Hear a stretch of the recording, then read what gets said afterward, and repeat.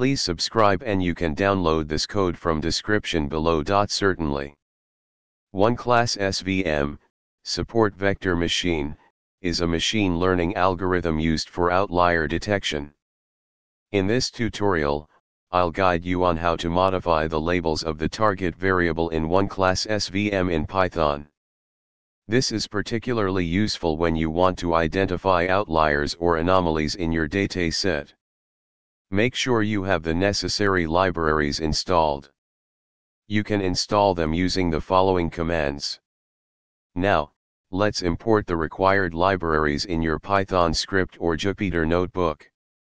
For this tutorial, let's create a simple dataset with normal and anomalous data points. By default, one class SVM assumes that the majority class is normal, and the minority class is anomalous. However, you can modify the labels to specify which class you want to treat as anomalous. In this case, we'll consider the anomalous class as class minus 1. Now that the model is trained, you can make predictions on new data. In this tutorial, you learned how to modify the labels of the target variable in one class SVM for outlier detection. This can be useful when you want to explicitly define which class you consider as anomalous. Make sure to experiment with different parameters and datasets to optimize the performance of your one-class SVM model. ChatGPT Certainly. Before we delve into the tutorial, let's briefly discuss the one-class SVM, support vector machine, algorithm. One-class SVM is a machine learning algorithm that is often used for anomaly detection.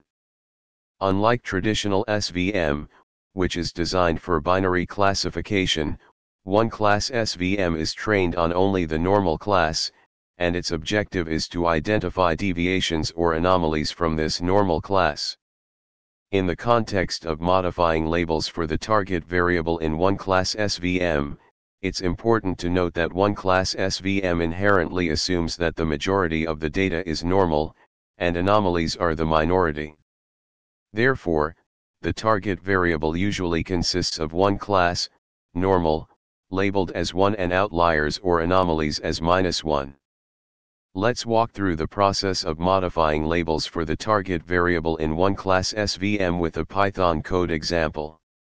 In this step, we will create labels where 1 represents normal data and minus 1 represents anomalies. Now, we will train the one class SVM using the modified labels. Once the model is trained, you can use it to make predictions on new data. In this example, the one-class SVM model is trained to identify anomalies as instances with a predicted label of minus 1. You can customize this code for your specific dataset and use case. Ensure that you have a good understanding of the data and the problem you're solving when setting hyperparameters for the one-class SVM model. ChatGPT